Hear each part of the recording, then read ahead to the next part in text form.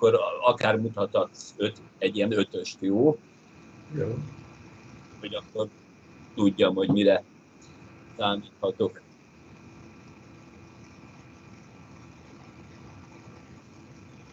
Jó estét kívánok, kedves hallgatóink! Az olvasókör ma esti vendége Gábor György, vallásfilozófus. Üdvözöllek! Jó estét kívánok, jó napot kívánok, nem tudom milyen napszakban hallanak minket. Este fog minket először hallgatni a közönségünk, este, hétfőn este 8-tól 9-ig, az ismétlés csütörtökön 11-től 12-ig. Akkor a jó estét és a jó napot egyaránt érvényes. Kedves hallgatóim, Gábor Györgyel egy új sorozatunk indul az olvasókörön belül, ennek az a címe, hogy a Biblia emberei. Olyan személyiségeket sikerül megnyernünk ennek a műsorsorozatnak, akik hivatásszerűen foglalkoznak a Bibliával, és annak értő emberei. Gábor Györgyöt azért kértük meg erre az első részre, mert alapfogalmakat szeretnénk röviden tisztázni a Bibliával kapcsolatban. Az első ilyen rövid kérdés, hogy mit jelent az a szó, hogy Biblia? A Biblia az egy görög szó, többes számba helyezett görög szó, a biblionnak könyvecske, ennek a szónak a, a többes száma. Tehát könyvek, van ott egy kicsinyítő képző, könyvek, könyvecskék, ezt jelentik egészen pontosan. Ki írta, és mikor ír, írták a Bibliát? Ez egy nagy kérdés, alapkérdés. Nyilván a hívő ember ehhez máshogy viszonyul, mint mondjuk a történész vagy a bibliakutató. A hívő ember számára teljesen egyértelműen és evidensen, és hagyjuk is meg ehhez a jogát, számára ez egy isteni kinyilatkoztatott szöveg, Isten küldte el hozzánk ezt a saját kinyilatkoztatását, úgyhogy ez isteni eredetű. A Biblia tudomány ugye azt mondja, hogy a Biblia ugye első nagy részét a zsidók számára csak ez a Biblia, tehát a Tanach éberül, más néven Ószövetségnek is nevezik. Ez egy körülbelül ezer éves, fantasztikus, nagyjából ezer éves irodalmi anyag, tehát sokan írták, a, a, a megőrződött a különböző hagyományok formájában, orális hagyomány formában, tehát adták tovább szájról szájra, míg valamikor valaki, illetve valakik leírták, lejegyezték ezeket a szövegeket. Az új szövetség jóval kisebb időtartalmot fog magába, itt néhány évtizedről van szó, pontosan itt sem ismerjük az eredeti szerzőket, Pálnak tulajdonítjuk például a leveleket, Máténak, Márknak, Jánosnak, Lukácsnak az evangéliumokat, Ezeket is valamikor később lejegyezték, de még egyszer mondom, ez sokkal rövidebb időtartamot fog magába. Az Ószövetség és az Új Szövetség mit foglal magába ez a két fogalom? Uh, ugye a, a, rögtön mondjuk el azt, mert itt né, némileg zavar szokott támadni, Igen. hát az a elnevezés, hogy Ószövetség és Új Szövetség, ez kizárólag a kereszténység elnevezése. Ezt csak és kizárólag a kereszténység használja. A zsidók számára az Ószövetség az a Tanach, e, az az ő Bibliájuk. Tehát számukra az Új Szövetség nem tartozik a Szent Könyvek gyűjteményébe. A kereszténység azonban e, megkülönböztet két nagy korpuszt, két nagy gyűjteményt. Az egyik az említett Puszszövetség, ez egyenlő a, a zsidó hagyomány Tanachjával, Tanach eh, nevet hordozó e, gyűjteményével. Azért mondom, hogy majdnem megegyezik, mert itt is vannak eltérések, tehát a, a protestáns hagyomány az megegyezik a zsidó hagyományjal. A katolikus hagyománynál vannak eltérések, különbségek, van valami többlet, de még egyszer mondom, ezt nevezik Ószövetségnek. új szövetségnek pedig már azt a keresztény gyűjteményt tekintik, amelyet az Ószövetség után, miután az Isten egy új szövetséget kötött a keresztény felfogás szerint természetesen, a néppel e, ez az új szövetség pecsételődött meg, és ennek a lenyomata az általuk egyébként szintén kinyilatkoztatottak tekintett új szövetségnek. Szóval a kettőnek picit bonyolult a viszonya, zsidó szem, aspektusból tekintve az új szövetség.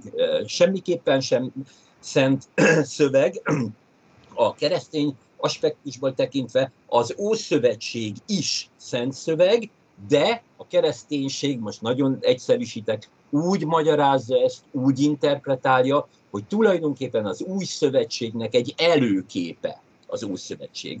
Tehát önmagára próbál rátalálni az Ószövetség szövegében a kereszténység. Egyetlen egy példát mondok, és akkor minden világos lesz.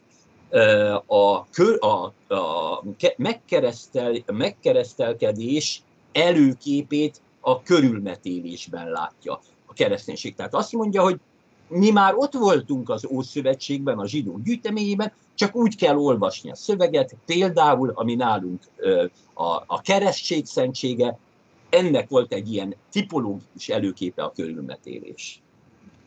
Az Ószövetség és az Új Szövetség jelentheti annak a, a múltba vetített képét, ahogy ma az Európai Unió önmagát a zsidó-keresztény kultúrkör bölcsőjének tekinti? Ez ugye egy érdekes kérdés. Én a következőt gondolom erről. Természetesen az a mai világunk, amit nevezhetünk zsidó-keresztény hagyományra épült világnak, nevezhetünk nyugati világnak, mindenki a saját ízlése és tetszése szerint bárminek. Ez a világ, ennek a világnak az alap elbeszélése a, a Biblia. És én itt már mind a kettőt megemlíteném, még akkor is, hogyha az egyik csak mondjuk a zsidóságnak jelenti a szent könyvet, a, a másik kettő a kereszténységnek, Azért említem meg ezt a hagyományt úgy, mint egy mesterelbeszélést, mert ez az a hagyomány, ez az a biblikus hagyomány, ami olyanná tett minket, amilyenek vagyunk. Ez az a biblikus hagyomány, amihez mindig visszatérünk, újra és újra átgondoljuk, újra és újra elemezzük, újra és újra újabb és újabb jelentéseket adunk neki, és nem csak mi, a művészetek, a zene, a, az egész zeneirodalom, a képzőművészet, az irodalom, a szépirodalom, a filmművészet, és így tovább, és így tovább.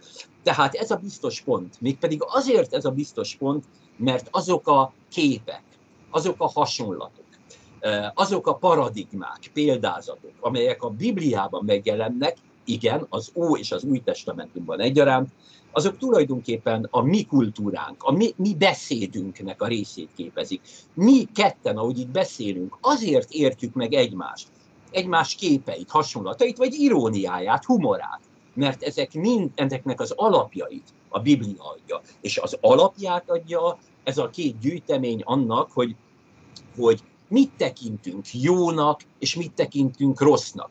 Mi az, amihez szeretnénk uh, mi is oda csatlakozni, mert jónak gondoljuk, mert követendőnek, és mi az, amit elutasítunk. Legalábbis a mi civilizációnk elutasít, uh, uh, elutasítja azokat, például a gyilkosságot, az erőszakot, a lopást, és így tovább, és így tovább. Tehát ezért mondom, hogy ez egy közös elbeszélés, és még egy utolsó mondat, ha ezt szabad mondani, idézőjelek között mondom, de azt akarom mondani, hogy ilyen értelemben meggyőződésem, most nem a hitről beszélek, hanem kulturális, civilizatórikus értelemben, meggyőződésem, hogy ebben a világban egyszerre mindannyian zsidók is vagyunk, és keresztények is vagyunk. A Bibliának egy sokat vitatott pontja, és ezt az interneten bárki ellenőrizhető, ellenőrizheti, a teremtés történeteknek az értelmezése. kétfajta teremtés történetről szoktak a szakértők beszélni, illetőleg a teológusok. Mi a különbség a két teremtés történet között, illetőleg melyek a hasonlóságok és a különbözőség? Rengeteg a különbség. Ugye a hasonlóság az, hogy mind a kettő teremtés történet. És nagyjából itt a hasonlóságokat már le is zárhatjuk, mert nagyon-nagyon más, hogy meséli el ez a két egymást követő történet, a világ és benne az ember teremtésének a, a históriáját. Ugye először olvassuk az első teremtés történet, ami rögtön megsugom, időben minden valószínűség szerint ez keletkezett később, tehát ne tévesszem meg bennünket az a sorrend, eh, ahogy a, a, a, az egykori szerkesztő ezt a kötetet összeállította, az első teremtés történet valószínűleg a később. Na most az első teremtés történet, ugye már furcsa lehet az, a, a hallgató számára, hogy hát miért van két teremtés történet? Hát tessék elmondani nekünk egyértelműen, hogy hogyan keletkezett a világ. Miért van két, ráadásul egymásnak ellentmondó teremtés történet? Hála Istennek van. És azért hála Istennek, mert ahogy az előbb említettem, ugye itt közel ezer év irodalmi anyaga őrződött meg. Amit összegyűjtöttek, ugye hát ne feledkezzünk el arról, hogy jóval-jóval a könyvnyomtatás előtt járunk, a könyvnyomtatás előtt, ha nem gyűjtöttek össze, ha nem foglaltak össze valamilyen módon, nem őrizték meg, nem őriztek meg valami szöveget, azok bizony gyakran, mondhatnám, hogy a leggyakrabban elvesztek. Ezt megőrizték, tehát a saját hagyományuk fontos volt ezeknek a nagyon bölcs írástudóknak, akik megőrizték, még akkor is, hogyha látszólag valami feszültség van, ellentmondás van a két teremtés történet között, de azzal, hogy bölcsen úgy gondolták, hogy ezt leírják, megőrzik, így őrződött meg, így maradt rá. Na most az első teremtés történet, ezt a szakirodalom Jahvistának hívja. Azért hívja Jahvistának, mert ugye a kimondhatatlan, Isten kimondhatatlan nevéről van szó, ebben a szövegben, és ez későbbiekben is így van, az Istent a Jod, Hé, Váf, Hé, tehát ezzel a négy betűvel jelölik. Istennek ez a neve, ez a kimondhatatlan név, a Jod, Hé, Váf, Hé, betűkből tetragrammatonnak hívják, mert négy betűből áll. Itt így emlegetik az Isten. Ám a következő, a második elbeszélésben, már az Istent Elohim néven emlegeti a szöveg, tehát ebből is látszik, hogy két különböző hagyományról van szó, időben is mm, máskor keletkezett hagyományról, talán térben is eltérő helyekről van szó, de nem véletlen, hogy az egyik hagyomány Istent ezzel a tetragrammatonnal, Jothéváf két tetragrammatonnal írja le, a másikban pedig Elohimként írja le. Ezt a különbséget egyébként megfogalmazhatjuk a mai modernebb nyelvezetben is az ortodox és a neológ vallász irányzatnak? Azért nem, ugye, mert azért persze, tehát itt még, amikor mondjuk maradjunk most a, a, a, a teremtés történetnél, amikor ezt olvassuk, tehát itt nem, hogy is mondjam, nem egymással szemben álló mondjuk hit elképzelésekről, pláne felekezetekről lenne szó, akik egymással vitám állnak, egy, egy, hanem egy hagyományról, amely hagyomány majd aztán mind a kettő beépül ugye a, a zsidó gondolkodás és bölcselet és teológiai nézetek egész rendszerébe. Tehát itt egészen egyszerűen arról van szó, hogy különböző időben keletkezett magyarázatokat olvashatunk. Na most ugye ne felejtkezzünk el arról, hogy az embert, ugye azt szoktuk mondani, hogy vannak ilyen nagy kérdések, nagy metafizikai alapkérdések. Az embert minden korban és minden civilizációban ezek az alapvető nagy metafizikai kérdések izgatták, sőt izgatják, tehát mondhatom jelen időben is, így vagyunk ezzel ma is. Ilyen nagy alapkérdés az, hogy hogyan lett a világ? Egyáltalán miért lett a világ? Mi ez a keletkezés? Hogyan lettek az istenek? ha vannak egyáltalán. Ugye, hogyan lett az ember? Miért van ciklus a természetben, tavasz, nyár, ősztél? Miért vannak háborúk, és, és aztán miért van béke? Miért van jó, és miért van rossz? Honnan van a rossz a világban? Mi van a halál után, ha egyáltalán van valami? Tehát ezek azok a nagy metafizikai alapkérdések, amelyek mindenkor emberét izgatták, és amely, amelyre mindenkor embere megadja a maga legkorszerűbbnek vélt magyarázatát, amit majd az utánunk következők persze újra értékelnek és újra gondolnak. E, na most ez a, a, a zsidóság számára is ugye adott volt ez a helyzet, tehát megválaszolni azt a kérdést, hogy hogyan keletkezett ez a világ, hogyan lett ez az egész világ és annak berendezkedése. Csak zárójelben jegyzem meg egyébként, hogy ha, ha megnézzük, ugye előbb említettem, hogy mindenkor embere. Ugye a mezopotámiai Enuma El is teremtés elbeszélés. Ugyanígy arra keresi választ, úgy kezdődik a szöveg, hogy midőn fönn az ég nevetlen, s alant a föld szint azon kép gyönyörű szép, nevetlen, nincs neve, tehát nem létezik. Az ókori ember a nevet és a dolgot együttesen képzelte el. Tehát az a létező, aminek neve van. Szóval ott is úgy indul, hogy amikor még nem nevetlen volt az ég meg a föld, tehát nem létezett.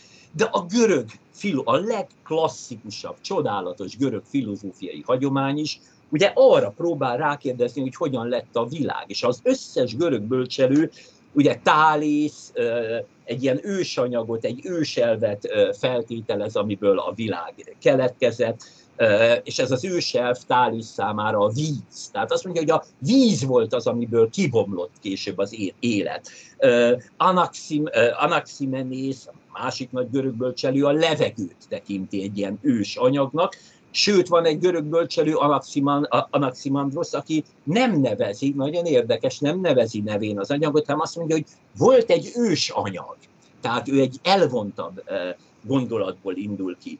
És így tovább, és így tovább. Platón, tehát talán a görög filozófia legnagyobbja, pedig azt mondja, hogy a, a világ az valami olyasféle módon keletkezett, hogy voltak az ideák, volt az ideák világa, van az ideák világa, és annak egyfajta másolata, leképzése ez a mi világunk. Ezeket csak azért mondom, mert folyamatosan ugye az emberiség ezekre eh, próbált rákérdezni. És hát itt is ez. Ez egy nagyon fontos gondolat. Eh, azt szeretném ezzel kapcsolatban megkérdezni, hogy eh, miért van az, hogy a, a hétköznapi átlag emberek többsége nem tekint a filozófiára, mint egy kézzelfogható és az emberi élet konkrétumait taglaló nézetrendszerre, hanem azt mondja, homályos, elvont, nem is értjük, miről beszél. Ugye a kérdés, picit elkanyarodtunk, de fontos a kérdés. Ez nincs mindenütt így. Sajnos ez a magyar hagyományra igaz, amit joggal említettél meg. A német hagyományban sokkal mélyebben benne van a filozófiai kultúra és annak a tradíciója.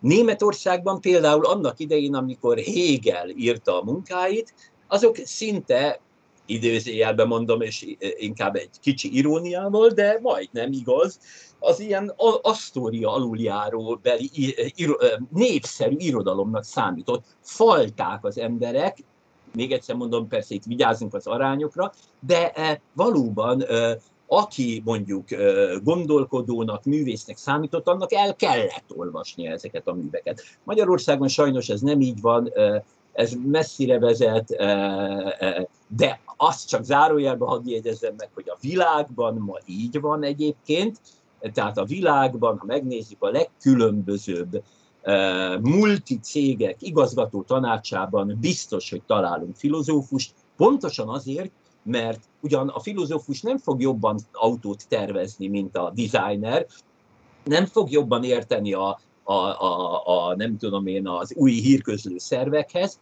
de van egy olyan átfogó, ahogy említetted, logikus gondolkodásmódja, a részletekre is kiterjedő átfogó gondolkodásmódja, ami nélkülözhetetlen.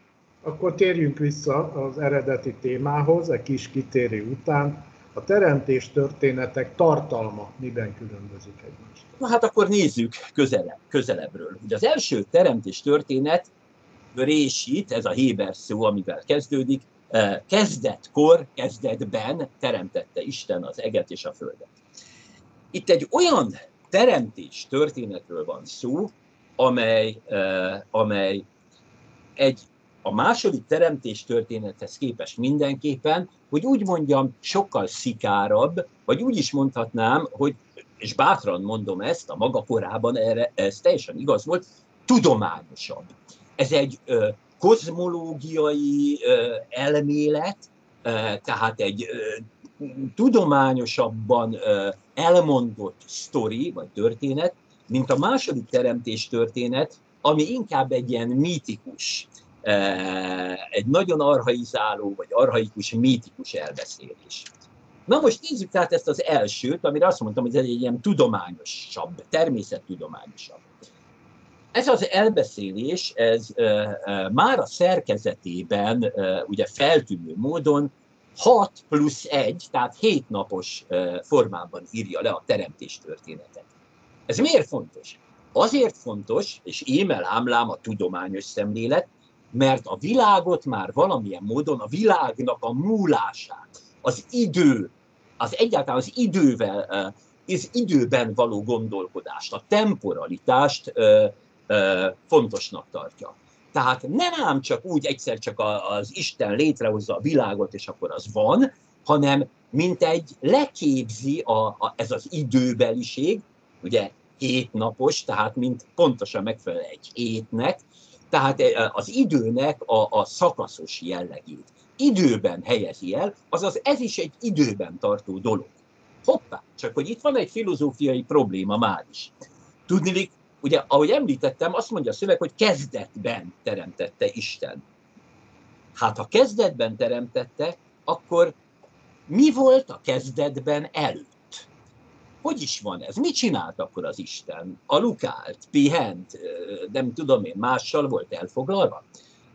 Luther egy helyen azt írja ezzel kapcsolatosan, hogy ha valaki fölteszi azt a kérdést, hogy mit csinált Isten a teremtés előtt, annak azt válaszoljuk, hogy egy, egy vízzel teli hordóban áztatott köteleket, hogy annak a hátán verje el, aki ilyen ostobaságot kérdez.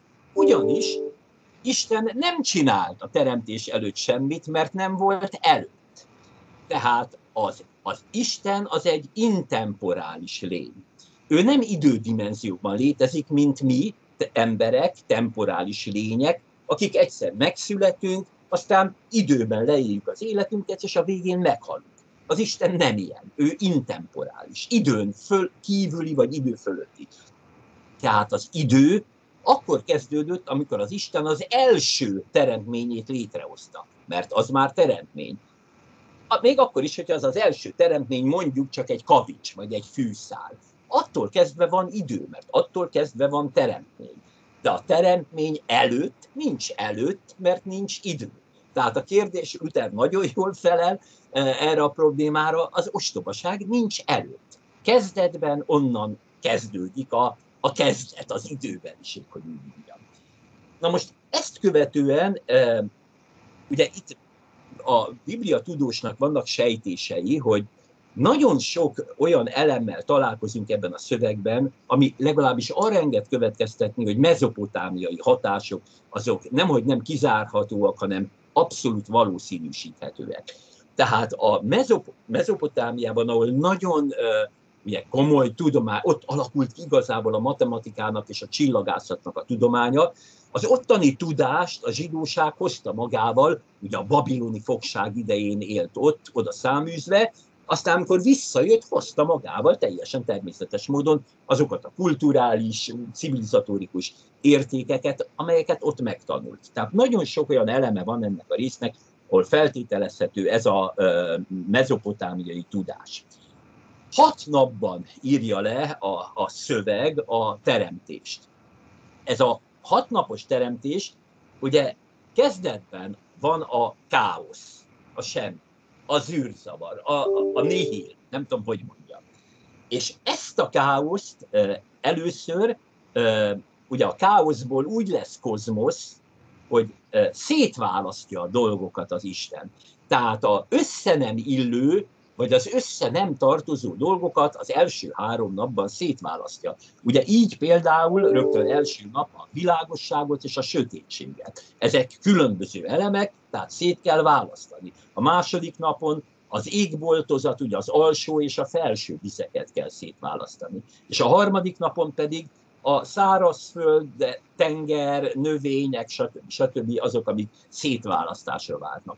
Tehát ez az el, első nagy egység, az első három nap, amikor a, a káoszból úgy kezd kialakulni az értelmes rend, a kozmosz, ugye a, a, a káosz az pont a kozmosznak a, a tagadása, tehát a, a káosz úgy tagadódik meg, hogy kezd kialakulni, rendeződni ez a bizonyos kozmosz és a ezt követő negyedik, ötödik, hatodik napon pedig mint egy benépesíti.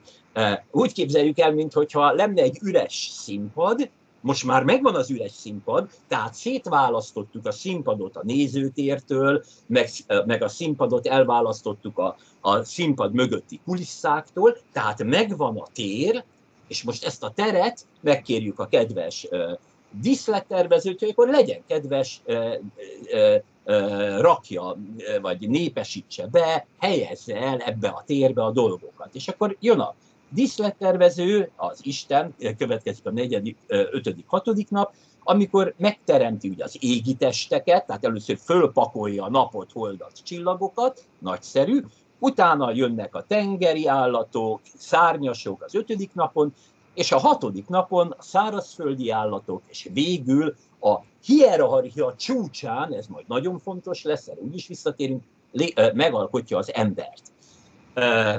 Tehát berendezte a dolgokat, és akkor a hetedik napon, mint aki jól végezte dolgát, ugye, és jól végezte dolgát, mert mindig a teremtéskor ő maga mondja, hogy látá Isten, hogy ez így jó, és tehát megpihen.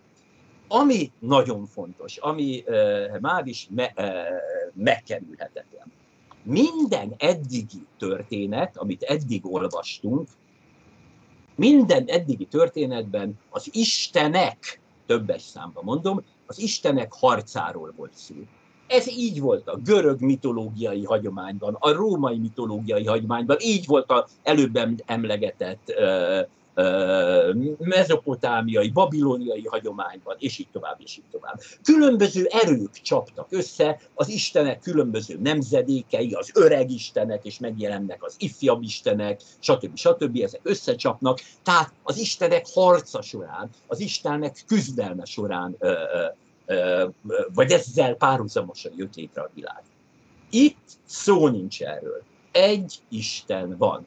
Ez egy radikális forradalmi újítás volt, tehát itt nincs Istennek ellenereje, itt egyetlen egy Isten van, az abszolútum. Ő az, aki létrehoz mindent.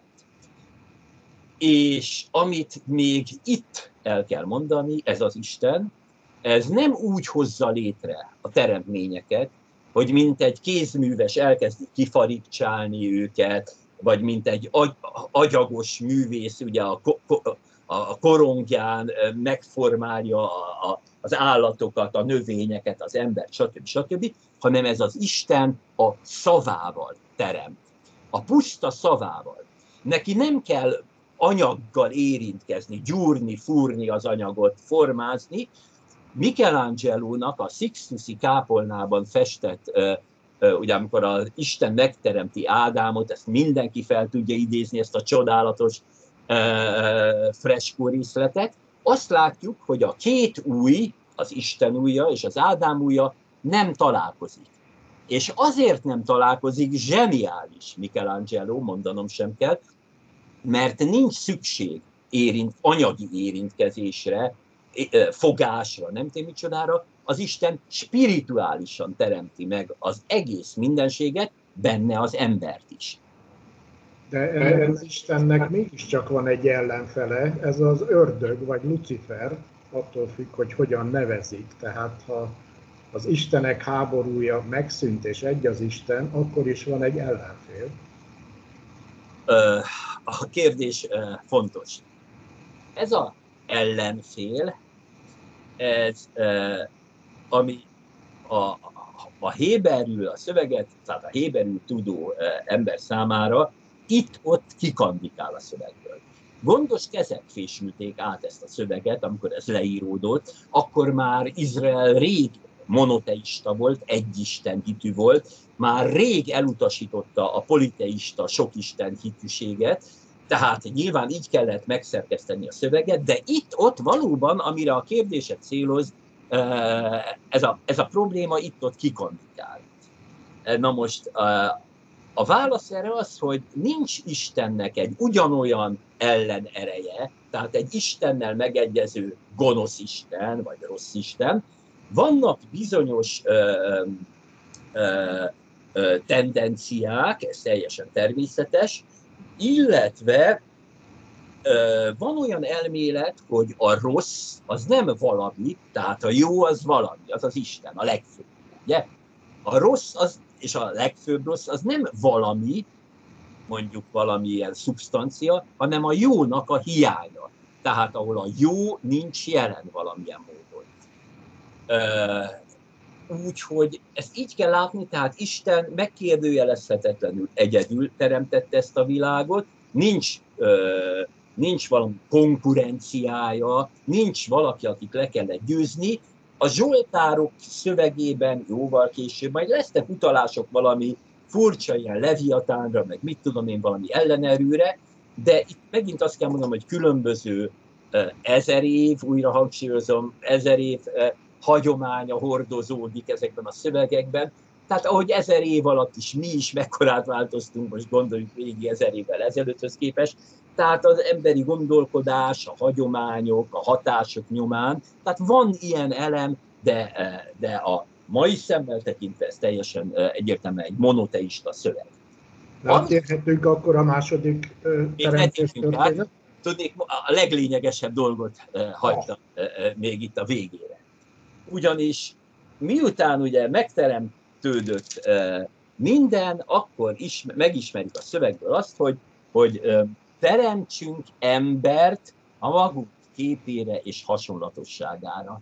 Na most ez a csúcs. Azt kell mondanom, hogy az egész nyugati, amire te rákérdeztél még a beszélgetés elején, az egész nyugati civilizáció csúcsához érkeztünk el. Nem csak arról van szó, hogy az embert a végén, mint egy a teremtés koronáját hozza létre hanem először is ebben az első teremtés történetben, ez is lényeges különbség majd a másodikhoz képest, embert teremt az Isten.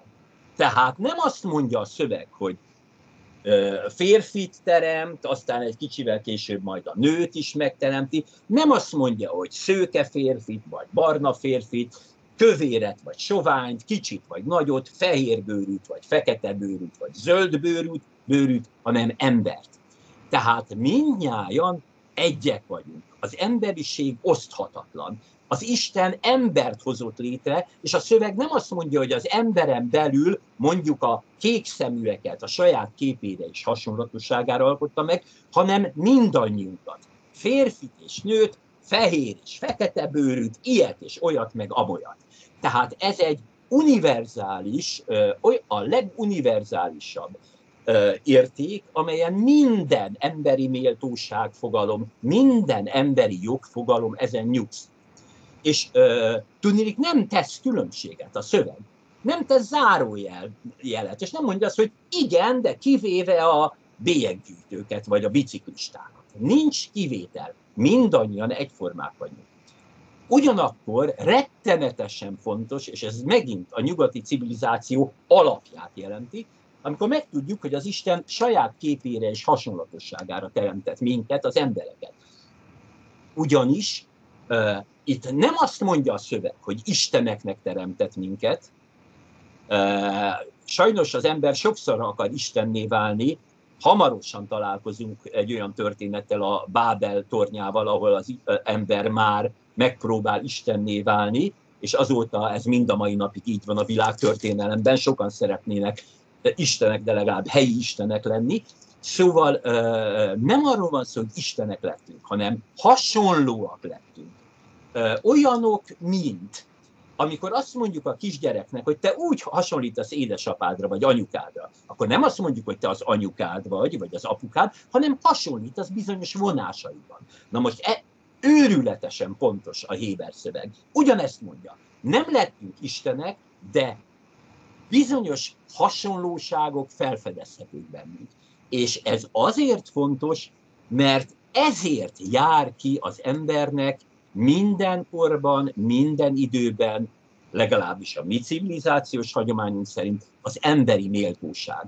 Senkitől nem lehet büntetlenül visszavenni, vagy visszavonni azt, mert mindannyian Istenhez hasonlók vagyunk. Nem Istenek, de hozzá hasonlók. És ezért van az, hogy a fehér bőrűt és a fekete bőrűt, a kicsit és a nagyot, az idős embert és a, a fiatal embert, mindannyiunkat egyként, férfiakat és nőket egyként megillet az emberi méltóság. Akkor térjük át a második teremtés történetre, vagy mitoszra. Így van, köszönöm, hogy így említetted, hogy mitosz. Valóban még annyit, nagyon jó, hogy így tetted föl a kérdést, tehát ő azt mondta, hogy térjünk át a második teremtés történetre, vagy mitoszra. Még annyit, és ez tényleg az utolsó megjegyzés az első teremtés történethez, hogy ahogy mondtam, az tényleg egy történet. Hat plusz egy nap, tehát hét napban mesélődik el, és a vége is úgy záródik, őrületes dolog, azt mondja a szöveg, hogy, hogy így fejeződik be, hogy ez a története az ég és a föld teremtésének, ahogy az lefolyt. Toldott, mondja a Héber, tehát a történetiség, a folyamat, az itt, ez a gondolat itt jelenik meg, nem lesz erre most időnk, csak zárójelben mondom, hogy nem evidencia az a zsenialitás, amit megfogalmazódik. Vannak civilizációk vagy társadalmak, amelyek az idővel nem is vetettek számot. Nem volt lényeges az idő vagy az idő múlása. Na most ez mindehez képest, ahogy a kérdésedben helyesen szerepelt, itt ugye egy mitoszról van szó, valóban ez a második teremtés történet jóval arhaikusabb, arhaizálóbb, mint az első. Ugye az elsőben, ahogy leírta, annyira mélyen nem tudtunk, vagy részletesen nem tudtuk bemenni, de a csillagok hol, de itt már szó nincs erről. Itt van egy nagyon arhaikusnak érezhető helyszín, az édenkert, és akkor itt nem is a csúcs, tehát nem is a, a teremtés csúcsaként teremtődik meg az ember, hanem úgy valahol a középtájon a teremtésnek. Tehát ez egy nagyon arhaikus helyszín, ahol ez az éden bizonyos folyókat megemlít, az az érdekes, hogy hogy négy folyót említ, ebből két folyót tudunk, a Tigris és az Eufrates, nagyszerű, hát a folyami kultúráról van szó, valahol Ábrahám is onnan indult el a hosszú útjára, és említ még két folyót, ezzel nem tudunk mit kezdeni. És akkor ebbe a, a, a, a, az édenkertbe, ebbe a nagyon mítikus édenkertbe teremti meg a férfi. Itt még nincs szó nőről, tehát először megteremti a férfit, akinek az az első parancsolata, tehát, bocsánat, még egy pillanatra visszalapozva az elsőre. Amikor megteremtette az embert, tehát ott nem férfit és nőt, hanem embert, akkor mi lesz a leges-legelső parancsolat, amit kap az ember? Legyetek termékenyek, szaporodjatok, sokasodjatok, töltsétek be a földet. Tehát ez, a, ez az első parancs, ez azért nagyon fontos, mert az egész zsidó gondolkodás leglényege az élet. Mindent felül ír az élet. Az életet mindig menteni kell. A Talmudnak egy helyén azt olvashatjuk, hogy aki egy lelket megment, az olyan, mintha az egész világot megmenteni. Tehát az élet az mindenek fölött. Az életet mindig menteni kell. A második teremtés történetre visszatérve tehát megteremti az Ádámot, de itt nem a, ezt a parancsot mondja ki, hanem azt mondja az Isten, hogy a kert minden fájáról nyugodtan egyél, kiskomám, nyugodtan ehetsz, de a jó és a rossz tudásának a fájáról ne, mert aznap, amikor eszel belőle, akkor a halál fia vagy. Tehát ez az első parancsolat. És akkor látja Isten, hogy Hát unalmas ott egyedül. Bizony, melyikünknek ne lenne unalmas, még ha az édenkertben vagyunk, akkor is. Unalmas egyedül, és ezért először az állatokat vonultatja fel, ugye, az első teremtés történetben csak jóval az állatok után lett az ember, felvonultatja az állatokat, a mező minden állatát, az ég minden madarát az ember előtt, hogy az ember adjon ezeknek az állatoknak nevet. Milyen érdekes, amit az előbb mondtam, a névadás az a létrehozás. Tehát ameddig nincs neve valaminek, addig, addig nem is létezik. És miután ez megtörtént, nevet, nevet adott az ember minden állatnak, madárnak, stb. stb.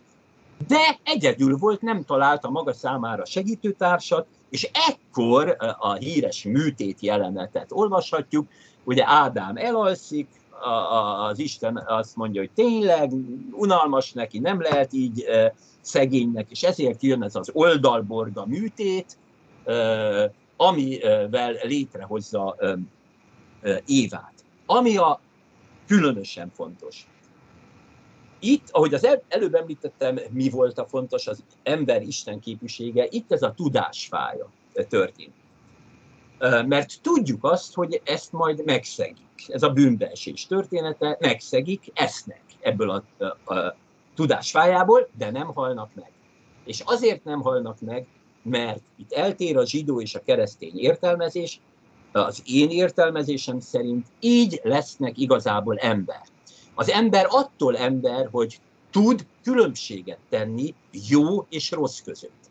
Attól vagyunk nagyszerű lények, hogy mi választhatunk, hogy van szabad akaratunk, és ezzel lett szabad akarata az embernek. Akkor nem lennénk igazából emberek, homunkuluszok, automaták lennénk, hogyha minden tettünkre determináltak lennénk. Éppen az a nagyszerű bennünk, hogy nem vagyunk determináltak, tudjuk, hogy mi a jó, mi a rossz. A gyilkosság rossz, bűn, stb. stb. És mi magunk a szabad akaratunkból hozzuk meg a döntést, hogy mit teszünk, ezzel leszünk felelős lények. Hányszor hallottuk azt az undorító mondatot a világtörténelemben, hogy parancsra tettem. Nincs ilyen, hogy parancsra tettem. Én döntöttem el, még akár a legrohadtabb, a legnehezebb pillanatban is, hogy mit döntök, enyém a felelősség. Ugye ezért nincs, a modern világban sincs az a bíróság, aki mondjuk egy mentálisan sérült embert, vagy egy kisgyereket, egy kiskorút elítélne valamilyen bűncselekményért. Esetükben nincs bűncselekmény, mert nem felelősek a tettükért. Mi igen, és ezért vagyunk számon kérhetőek. Ha biztonságot követünk el, akkor azért. Tehát ez a, ez a